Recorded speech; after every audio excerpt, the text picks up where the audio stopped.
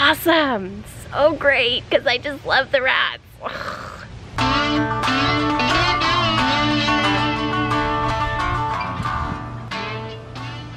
Rat Saga, part, I don't even know what we're up to now.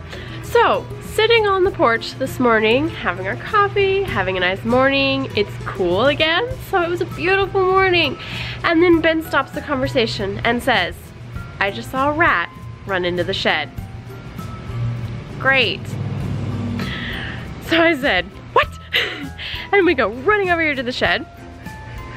And he says, yeah, I just saw it wiggle its way up through the door, the corner, into the shed. Right there.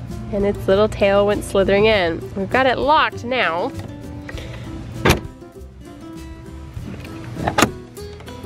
So, we open the door and we see he went over here and he went back there and Ben tried to chase him and he went into the corner and then around under the workbench. As far as we know, he's still in here, which is really creepy. They have found the chicken food, the scratch, and the food. They've ripped into the bags. Yay.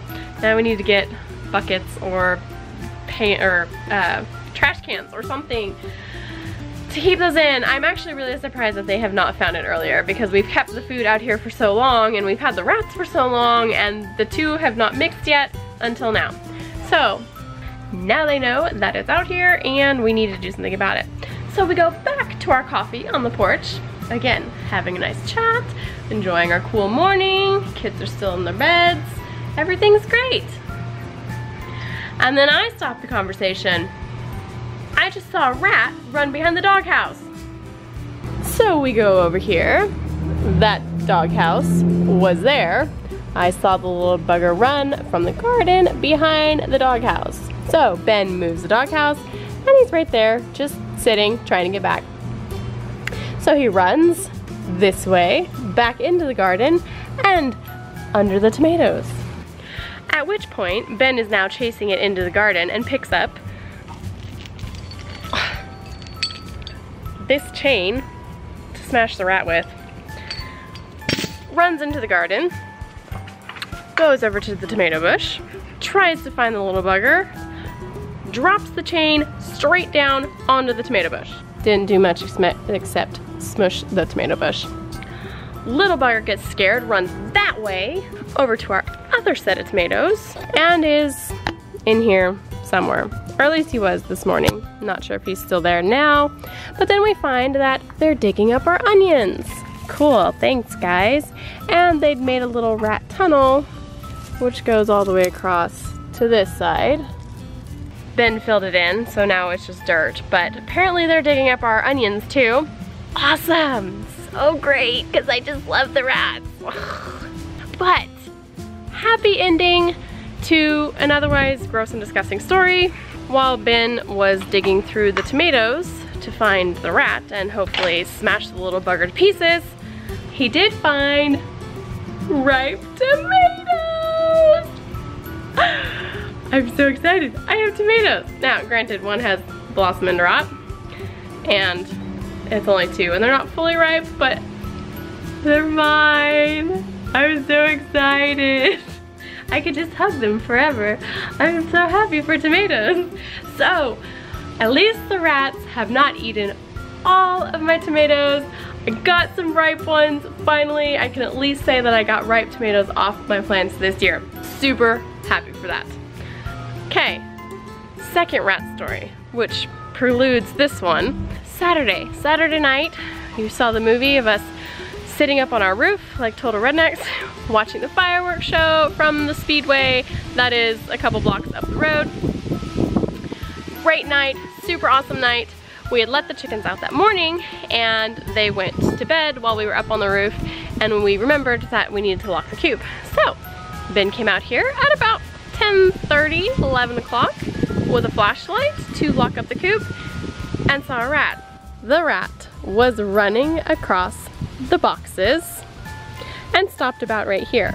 Now, my very brave, very amazing husband did something that is both sexy and disgusting at the same time. He did not have anything to get this rat. No trap, no bucket, no hammer, no nothing. So what did my wonderful husband do?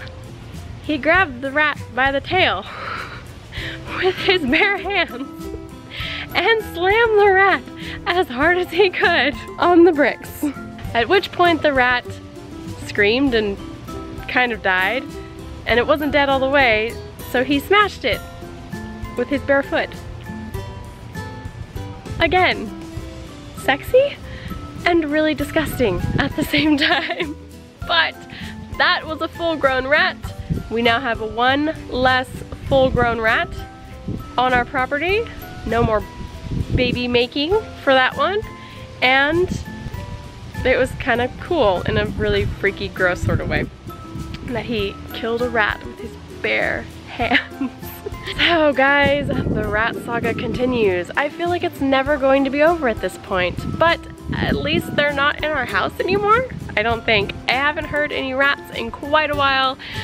No skittering across our bedroom ceiling, no sounds under the shower.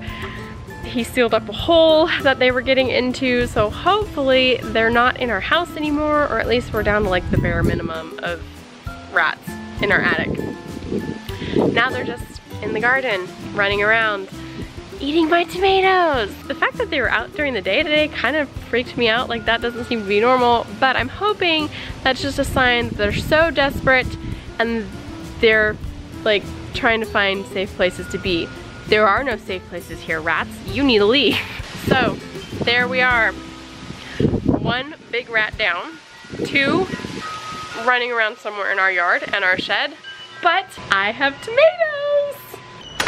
All right, let's check on this lard. I started it again this morning on the stovetop and it just seems like it's taking so long. So, and I didn't want it to burn because it looked like it was just kind of getting a little burned. So I turned on the oven to 200, stuck it in there, took the lid off, um, and it's been sitting for, I don't know, a couple hours now. So hopefully it's doing what it's supposed to. Let's check on it, see what happens. It's probably not even close to done yet, but hopefully it's at least going, right? All right, see if I can do this without burning my arm. Oh yeah, not bad. Still got a long ways to go. There's quite a bit of fat in there. But it's getting there. Oh, and it's squishy too. Okay, so I'm stabbing these pieces of fat and I can just stab right through them. So that's a good sign. It means they're melting and getting down there. I think the oven might be the best way to go. I am liking the oven a lot better for a couple different reasons. One, I don't have an open flame and a hot pot just sitting here, you know, with the kids running around. Like, they get their drinks that sit right next to the stove and all that, so I don't have to worry about them just touching a hot pot. They're pretty good about it, but you never know. And then two, um, it seems more even to me. So it's at 200, the whole thing is getting hot, and it's not just like a constant flame right on the bottom. So hopefully this will work a little bit better. It's already six. so I don't know how long this is gonna take. This might be like a three day lard fest for like a pound of lard.